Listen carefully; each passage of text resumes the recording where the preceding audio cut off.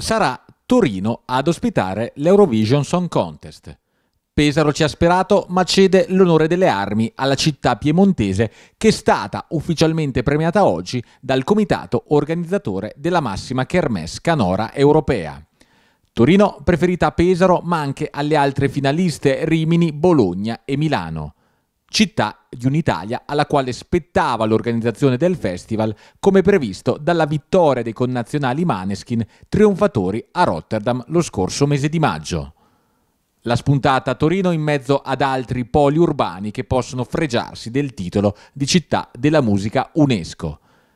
Pesaro ci ha sperato, all'indomani della vittoria dei Maneskin si era fatta avanti assieme ad altre 17 città italiane, ha resistito alla prima scrematura rientrando nella top 10 fino all'approdo nelle cinque candidate finali annunciate il 24 agosto da European Broadcasting Union e dalla RAI che ha ufficializzato la decisione definitiva questa mattina.